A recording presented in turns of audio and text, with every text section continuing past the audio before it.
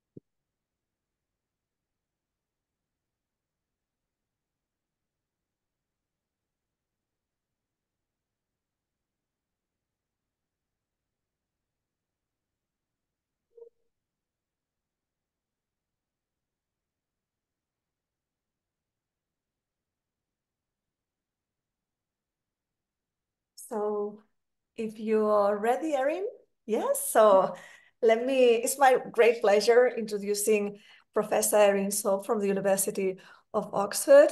Uh, she's a paleobiologist and her main focus is studying the interactions between life and environment over geological uh, timescales.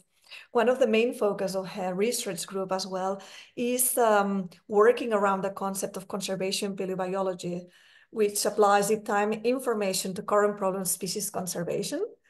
So as well, part of her work is based on understanding the what makes a species prone to extinctions as well latitudinal gradients. So Erin, all for you. I will stop sharing the screen and then you will be able to start sharing. Perfect. Thank you so much for that introduction and thanks so much for inviting me to speak. Um, I will share my screen with you. Can you see the presentation? Uh, yeah. Put it into presentation mode. Hmm. Let's see. Stop sharing. Escape. Uh, let's see.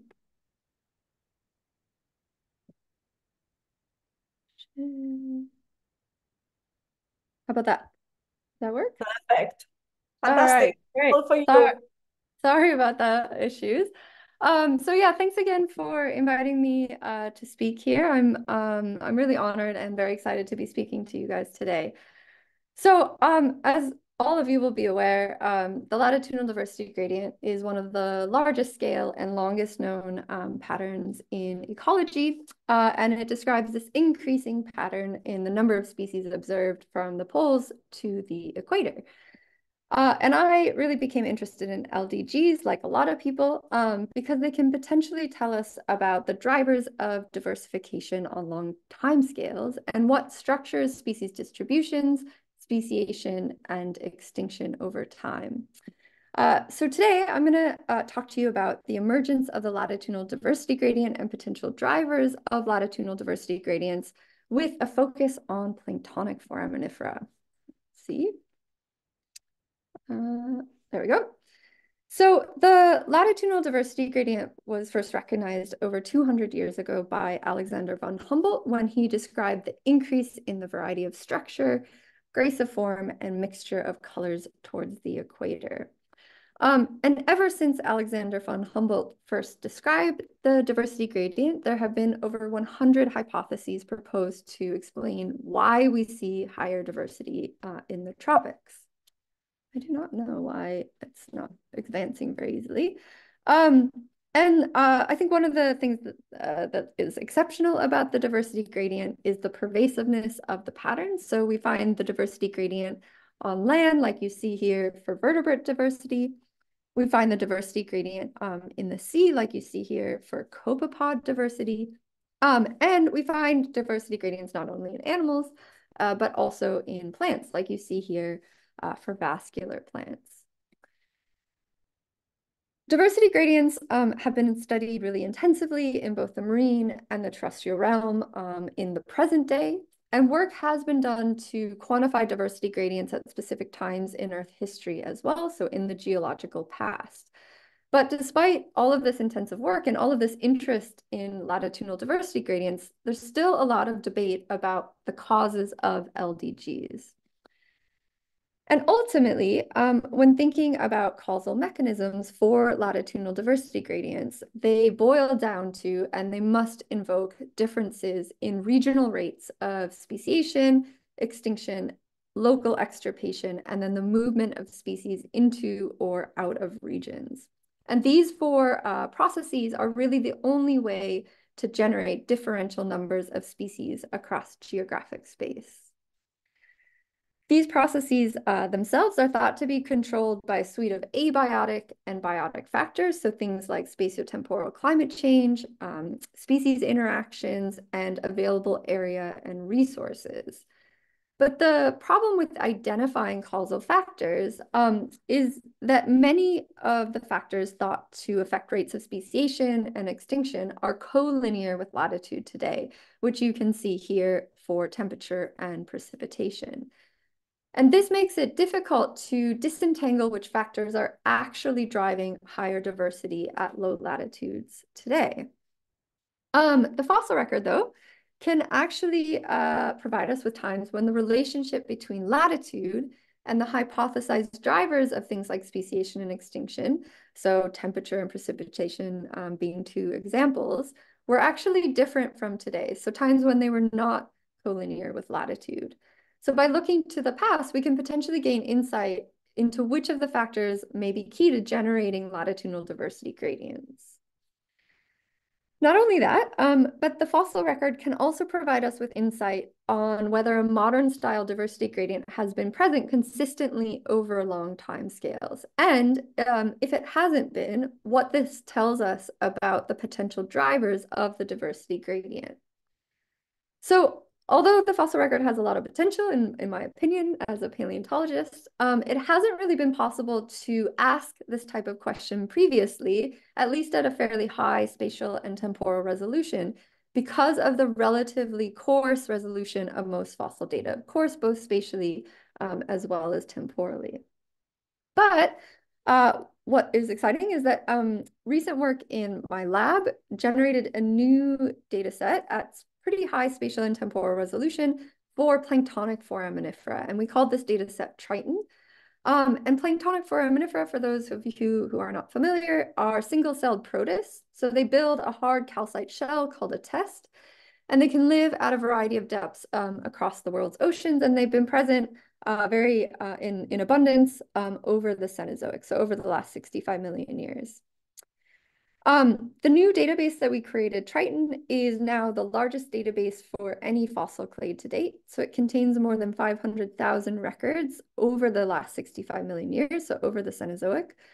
And what we did in Triton was we ensured comparability among all of the data sources that we used to compile Triton. So we cleaned all of the occurrence records using a unified set of taxonomic concepts. we converted all of the ages to the same updated time scale, and then we rotated all of the occurrences using the same paleo coordinate rotation model to obtain latitude and longitude coordinates in deep time. So uh, using Triton, um, we wanted to construct latitudinal diversity gradients at multiple intervals over the Cenozoic. And we wanted to basically ask, how has the shape of the LDG for planktonic foraminifera changed over time? Or has it even changed over time? Um, and I'm going to focus here on results that where we constructed latitudinal diversity gradients at 2.5 million year intervals over the last 40 million years.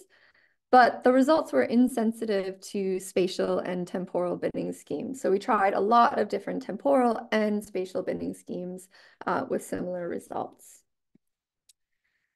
For each of the time slices that we were focusing on within that 40 million year interval, we um, constructed latitudinal diversity gradients using five different methods um, or approaches, which you can see here.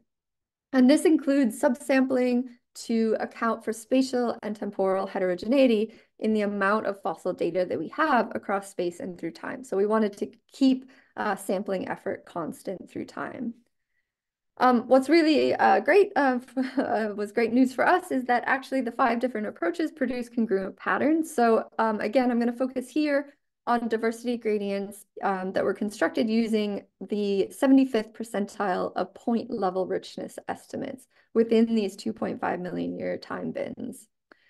Um, and using uh, a percentile approach is appropriate to define latitudinal diversity gradients because it's really the upper tail of diversity distributions that generate the shape of latitudinal diversity gradients. And that's true even today.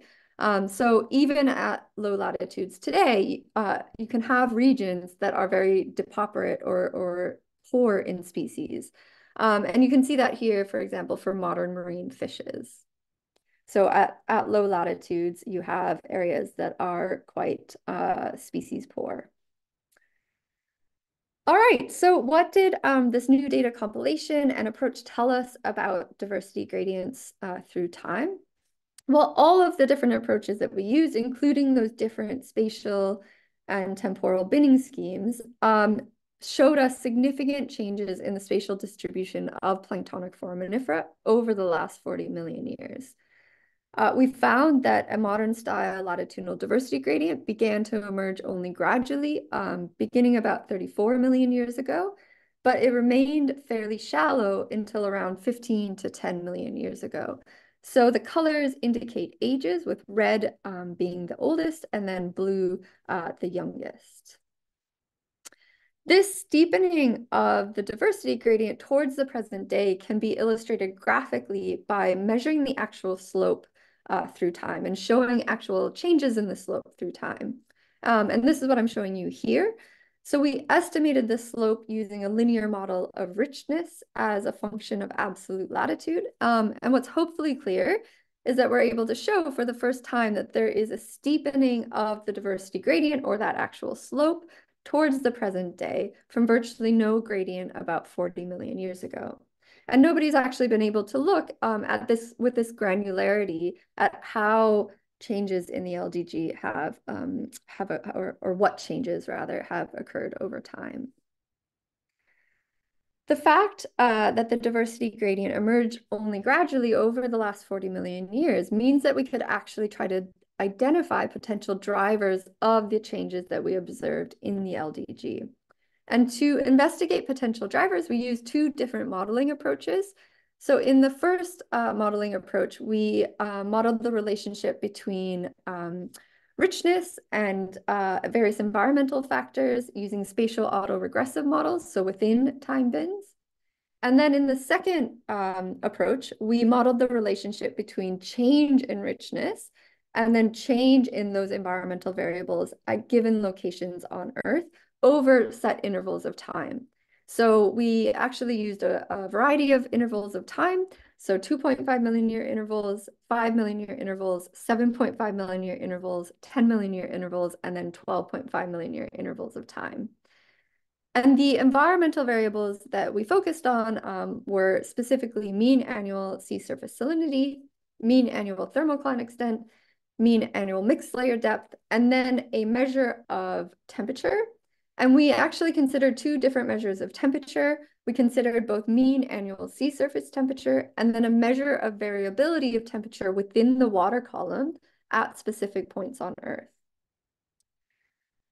The uh, climate data that we used um, for these analyses came from the HadCM3L uh, coupled atmosphere-ocean generalized circulation model, and this was done in collaboration with Paul Valdes, Dan Lunt, and Alex Farnsworth at the University of Bristol. And we needed to use climate data rather than, say, proxy data um, because this modeling framework required spatially and temporally explicit estimates of climate for each estimate of richness, which of course is not available with proxy data over 40 million years. So results um, from both of these modeling uh, exercises, so the models that were built uh, across space within time bins, but then also through time, looking at changes in richness and changes in climate, suggests that temperature is the only variable that exhibits a consistent um, and strong positive relationship with richness over time. And this is what I'm showing you here for the models built within time intervals. Um, so those spatial autoregressive models. And this relationship of richness with temperature persisted for at least the last 15 million years um, and perhaps longer, but the confidence intervals overlap zero further back in time. So results from both uh, modeling approaches agree that temperature and temperature variability within the water column vertically correlate positively with richness in uh, both types of models. And this is, um, I think is quite interesting uh, because it means that the changes we see in the diversity gradient for planktonic foraminifera mirror the changes that we see in the steepness of the latitudinal temperature gradient over time.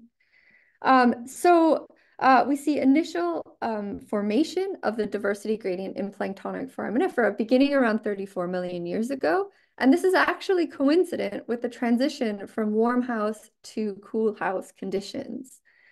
And then we see significant steepening of the diversity gradient, coincident with a steepening of the latitudinal temperature gradient, beginning about 15 million years ago. Um, and what I think is important is that the steepening of the latitudinal temperature gradient is actually associated with an increase in vertical temperature structure at low latitudes. So essentially colder bottom waters are being brought down from higher latitudes to the tropics, and that's increasing uh, the variability in temperature that exists at low latitudes um, or, or in the tropics. And this might mean uh, that the modern day LDG for planktonic foraminifera was caused, at least in part, by enhanced thermal niche partitioning at low latitudes. Um, and this might have increased speciation at low latitudes and or caused the collapse of communities at higher latitudes as warmer water niches were removed. So um, if this were true, we would expect changes in planktonic foraminifera um, and how they partition by depth within the water column over time and across space. Um, and we can actually quantify this, again, because the fossil record for planktonic foraminifera is so good um, using the new Triton database. So we can actually look at uh, changes in how planktonic foraminifera communities partition across depths within the water column uh, through time. And we can do this using a metric of evenness. Uh, so this examines how species numbers uh, vary across habitats, in this case across depth habitats within the water column. Low evenness, as most of you will know, um, indicate more species are present at one water depth over another water depth. And for uh, each of the time intervals that we were looking at, we examined how species were distributed across three depths, so the mixed layer, the thermocline, and the subthermocline, and we did this also across latitudes. And our idea was to test if assemblages exhibited more evenness of depths across latitudes when the gradient was shallower millions of years ago. So what we found um, was that assemblages did indeed exhibit more evenness of depths across latitudes when the gradient was shallower millions of years ago. And this implies that warmer waters at high latitudes supported a broader range of vertical temperature habitats deeper in time, where you had more species across these uh, vertical temperature habitats. but that these disappeared um, as uh, assemblages collapsed with um, climate cooling. So if warmer um, waters at high latitudes supported a broader range of vertical temperature habitats deeper in time, we would expect higher extirpation or extinction at, at high latitudes, and then potentially higher rates of speciation at low latitudes as more niches are created because of that thermal re restructuring as climate cools and those colder bottom waters are being brought down to the tropics. And so what we wanted to do was quantify rates of speciation, extinction, extirpation, and dispersal in low and high latitude regions, which we've defined as within or exclusive of 30 degrees latitude. And both um, elevated extinction and extirpation at high latitudes and of course elevated speciation at low latitudes could contribute to the formation of the diversity gradient over time in planktonic foraminifera. So we wanted to look at which of these processes uh, was actually driving the pattern. And what we found um, is that speciation was the primary contributor to the emergence of the latitudinal diversity gradient in planktonic foraminifera over the last 40 million years. So low latitude speciation began to exceed high latitude speciation after about 30 million years or so in a consistent fashion. Um, in addition to this low latitude speciation, Local extirpation at high latitudes also contributed to a modern style LDG for planktonic foraminifera, but it had a smaller effect size than speciation. Um, extinction uh, did not contribute to the emergence of a latitudinal diversity gradient because extinction was actually higher at low latitudes beginning about 20 million years ago. So the reverse pattern of what you would expect.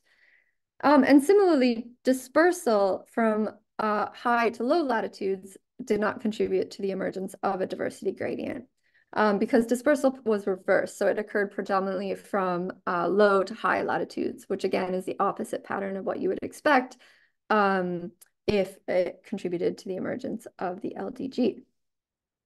So taken together, uh, these results suggest that the modern day uh, diversity gradient for planktonic foraminifera is controlled primarily by speciation at low latitudes and then secondarily by local extirpation at high latitudes over the last 30 to 15 million years. Um, and we therefore suggest uh, um, that the modern day diversity gradient for planktonic foraminifera may have formed due to high latitude cooling um, and this high latitude cooling brought colder bottom waters to the tropics, which increased latitudinal temperature gradients, but more importantly, increased vertical temperature gradients at low latitudes. And these vertical uh, temperature structure actually uh, at low latitudes, so near the equator, may have uh, led to increased niche partitioning, providing more opportunities for speciation.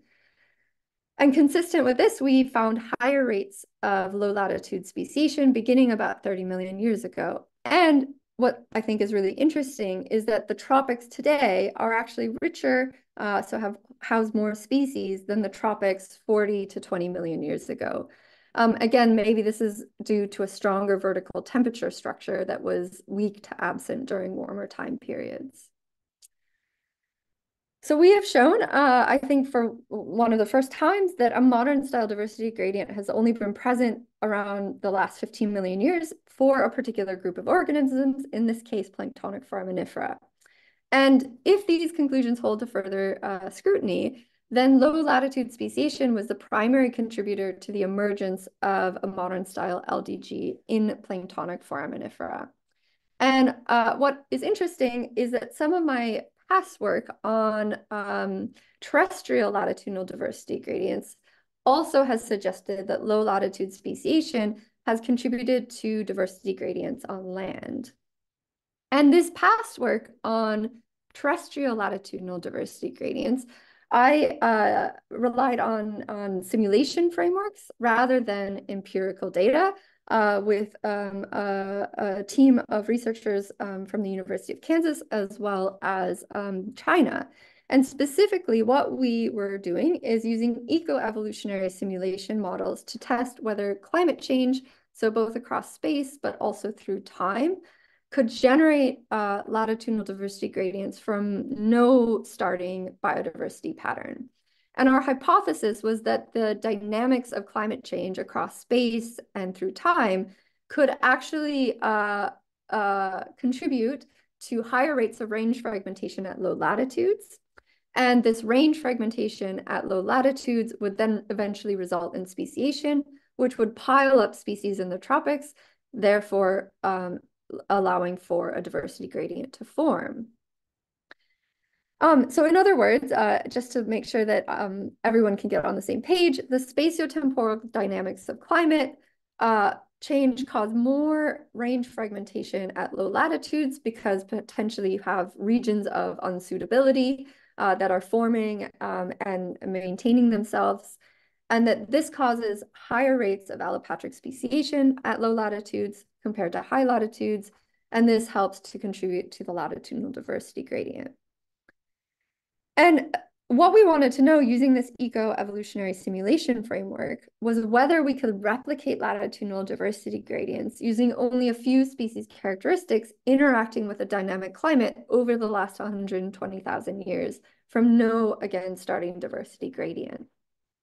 So um, what we did was we created virtual species that could move across the simulation landscape, and this was divided into grid cells. Um, these species could move based on a dispersal ability that they were assigned, and they could only occupy grid cells that were climatically suitable for them. These climatic tolerances were also assigned, but the climatic conditions of each cell would change through time depending on how the climate changed. Uh, and this, of course, is going to um, affect whether those cells remain suitable for the species. So the changing climate conditions that we used in the simulation um, were a 120,000 year record of terrestrial climate change um, over the Pleistocene. So year zero here um, is 120,000 years ago. And then we're stepping forward into the present day every 100 years. And each point you see here is a particular point on Earth with a specific temperature and precipitation condition. And you can see how those conditions shift and change through time. So these spatiotemporal dynamics of climate, the change across space and the change through time and climate, could cause three different processes, range shifts, speciation, local, well, four really, local extirpation, and true extinction. And in our simulation, speciation occurred through range fragmentation as a result of climate change. So if uh, an area became unsuitable, uh, for a species, um, and if populations remained isolated for a sufficient period of time, then speciation would result. So speciation therefore occurred allopatrically as a result of geographic isolation. And isolation, as I mentioned, occurred because of climate change. Um, and sufficient isolation is obviously really difficult to define, but in our simulation framework, we uh, chose 10,000 years. So extinction uh, would occur if all of the occupied suitable habitat for a species disappeared, or if a species couldn't keep pace with uh, climate change based on their dispersal ability.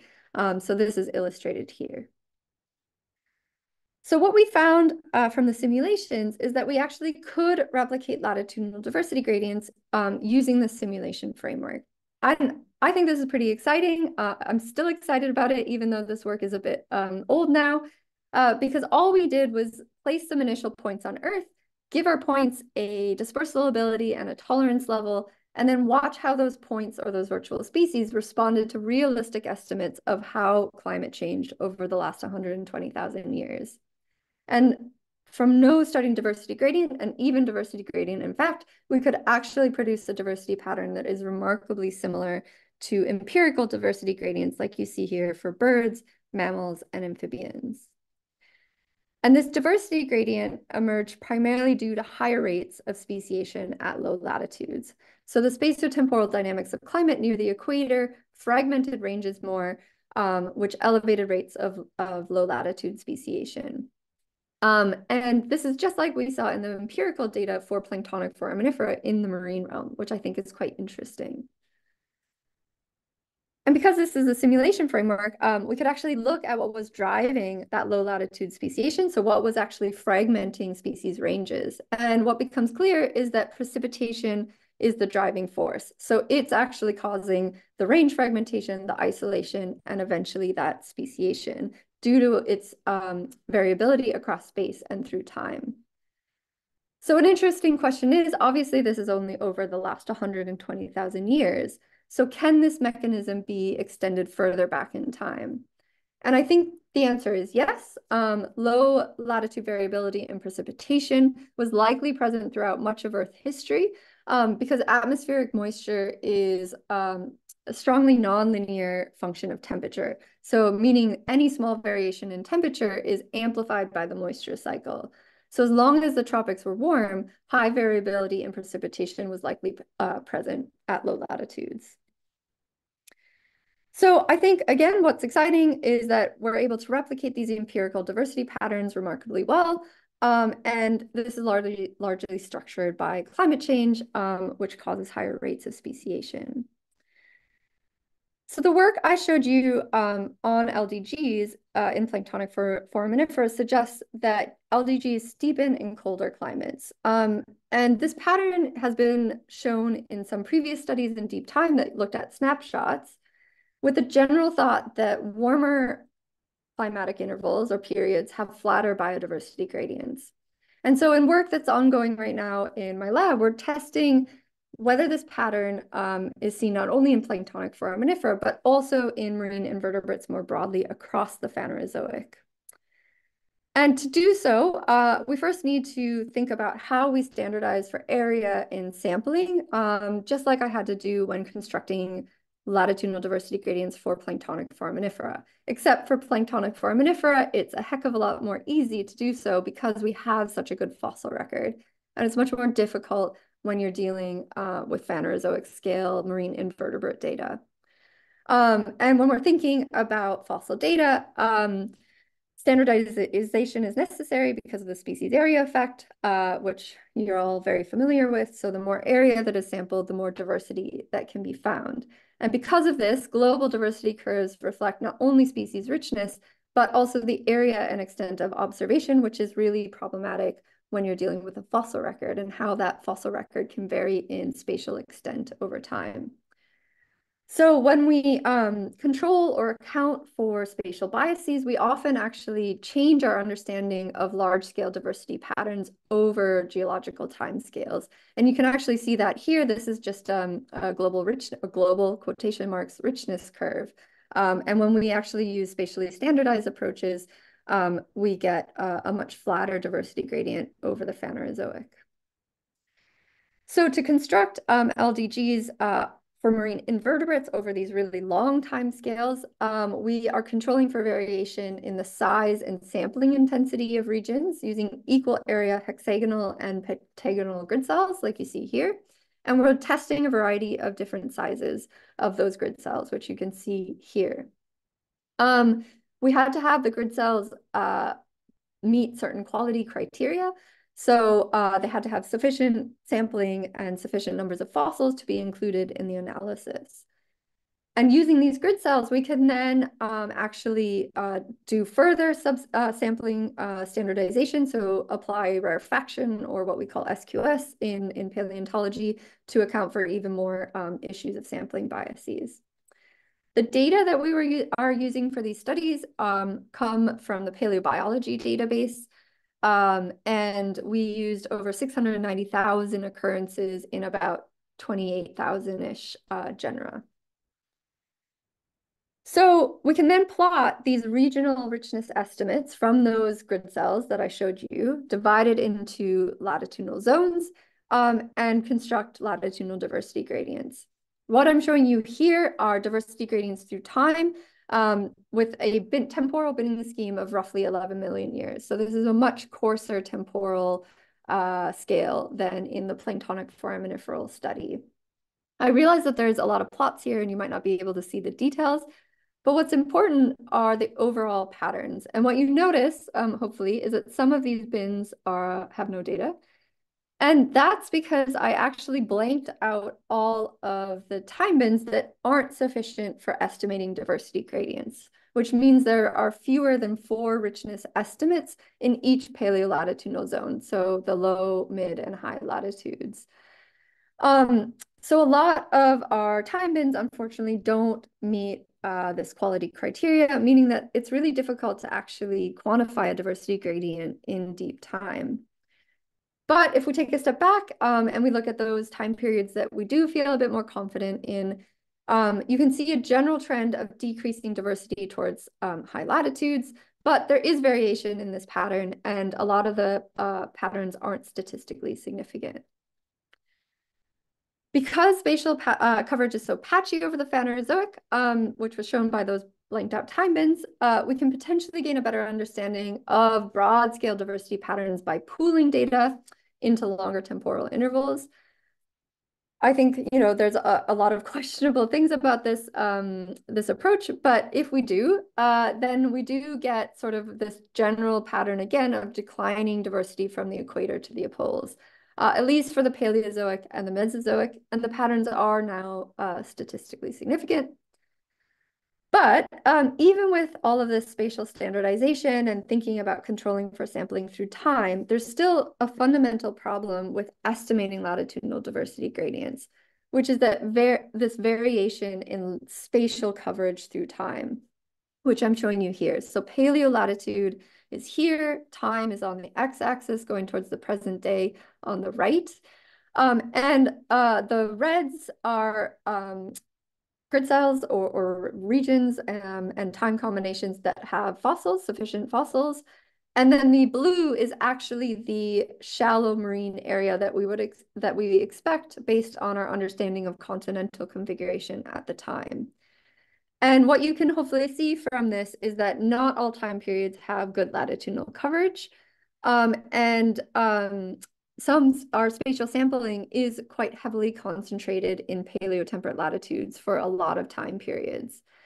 And this is quite problematic if we're wanting to actually construct diversity gradients um, over the Phanerozoic. Hopefully you also can notice um, this trend here where our sampling um, and, and where we have the most intense sampling increases in latitude towards the Northern Hemisphere over time. And this trend is concerning um, because what we think it shows is that the paleolatitudinal peak in diversity tracks higher sampling that's present in Europe and North America through time.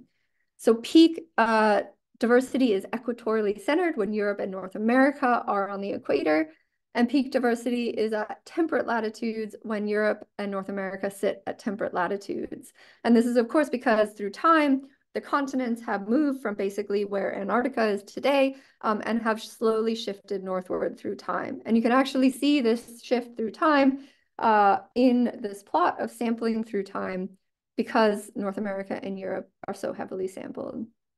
So um, this is also shown really well, I think, here as well where the median paleolatitude of North America is in blue, the median paleolatitude of Europe is in pink through time, and then the richest 10 degree latitudinal band is in green, and all correspond uh, remarkably closely.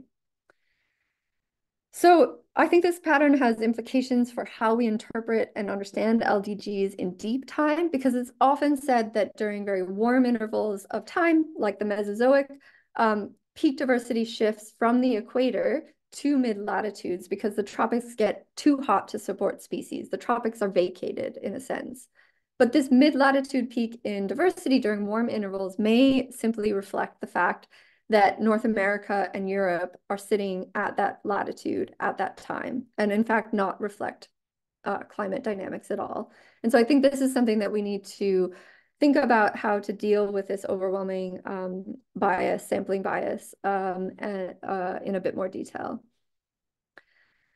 But um, one crude way to, to deal with it is to simply exclude North America and Europe and re-examine the diversity patterns through time. Um, and this is what I'm showing you here on the bottom panel. It's pretty heavy-handed to do this, but we can see stronger evidence for a modern style latitudinal diversity gradient through various points in the Phanerozoic, so over the last 540 or so million years. And um, focusing on areas outside of North America and Europe also seems to produce a clear difference in diversity gradients between hot and cold intervals of the Phanerozoic, um, which we defined based on uh, 2021 Earth Sciences Review paper. So maybe actually there is evidence that um, there's a steeper gradient during colder intervals of the Phanerozoic and then a shallower gradient during warmer intervals, um, which would be consistent with the results that we obtained for planktonic foraminifera when focusing only on the last 40 million years. So uh, with that, um, to, to conclude, uh, I, I hope that, um, you know, I have provided at least some evidence of that steeper gradients may occur during cold intervals of time, which has been shown uh, by work in the past. Higher equatorial diversity, uh, at least in the, in the work I've done so far, may be driven by low latitude speciation. And this might be due to spatiotemporal heterogeneity um, in environments. So either in climate like precipitation on land or in temperature variability within the water column if we're thinking about the sea for planktonic foraminifera. Um, and I think we really need to think more about how we standardize for space and sampling uh, when we're when we're constructing these diversity gradients and query whether we can build diversity gradients in some time intervals um, due to the data that we have. So with that, uh, thanks so much again for, for tuning in um, and for inviting me to speak. Thanks to all of these funding agencies, and then especially thanks to all of the people who helped uh, with my research and the collaborators here. So yeah. Many thanks, Erin, for the wonderful discussion. It was really very interesting presentation and it was really clear. So um, let's get started to with the Q&A session. So attendees can type their questions in the Q&A space or raise a hand to ask it aloud, as Sandra mentioned at the beginning.